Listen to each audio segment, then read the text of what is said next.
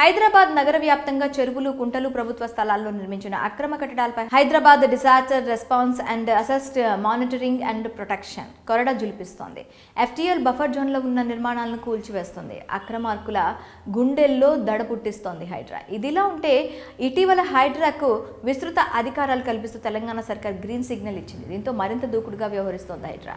ఏవి రంగనాథన్ నేతృత్వంలో హైడ్రా ప్రభుత్వ ఆస్తుల పరిరక్షణ చెరువులు నాలల కబ్జాలకు అడ్డుకట్ట వేయటం ఆక్రమణలను తొలగించడమే లక్ష్యంగా వర్క్ చేస్తుంది. ఈ చర్యలపై ప్రజల నుండి ప్రభుత్వానికి పెద్ద ఎత్తున మద్దతు వస్తున్నప్పటికీ ఈ కూల్చివేతల వల్ల కొంతమంది పేద మధ్యతరగతుల కుటుంబాలు నిరాశ్రయులవుతున్నారు.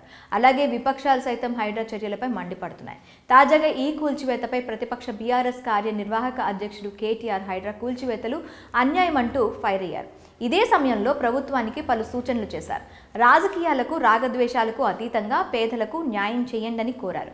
ఆక్రమణలు మేము కూడా ప్రోత్సహించాం కానీ అభాగ్యులకు అండగా నిలుస్తాం. ఇల్లు కూల్చివేసేటప్పుడు చిన్నపిల్లలు మహిళలను రోడ్డు మీద పడేయకుండా మరో నివాసాన్ని ఏర్పాటు చేసి అక్కడకు తరలించండి.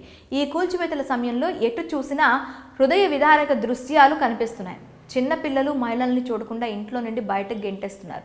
ఫుట్పాత్లపై వ్యాపారం చేసుకునే వాళ్ళను వైండింగ్ జోన్లు ఏర్పాటు చేసి తరలించాలి. ఉన్న పలంగా ఉపాధి కోల్పోతే ఆ కుటుంబాలు రోడ్డును పడతాయి అంటూ ఆవేదన వ్యక్తం చేశారు కేటీఆర్. పేద మధ్యతరగతి వారు నిర్మించుకున్న నివాసాలపై ప్రతాపం చూపడం సరికాదని ఎఫ్టీఎల్ బఫర్ జోన్లు అని తెలిసి కూడా వాటిని అనుమతులు ఇచ్చిన అధికారులపై చర్యలు తీసుకోవాలని సూచించారు కేటీఆర్. ఇది కాంగ్రెస్ సర్కార్ చేయాల్సిన చర్య కాదు.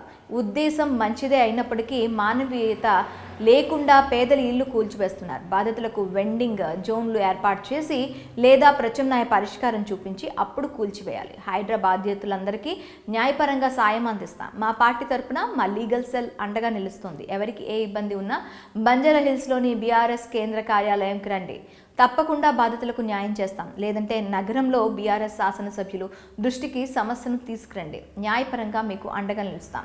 హైదరాబాదిత పేదలు కస్తూరిబాయ్ వేదశ్రీ కుటుంబాలను పరామర్శిస్తాం మంచి ఉద్దేశంతో పనిచేస్తే ప్రభుత్వానికి సహకరిస్తాం. శని ఆదివారాల్లో జరుగుతున్న కూల్చివేతలను హైకోర్టు సుమోటోగా తీసుకోవాల్సిన అవసరం ఉంది అని పేర్కొన్నారు కేటీఆర్. కేటీఆర్ తీసుకున్న ఈ చర్యలపై మీ అభిప్రాయాలను కామెంట్ రూపంలో తెలపండి.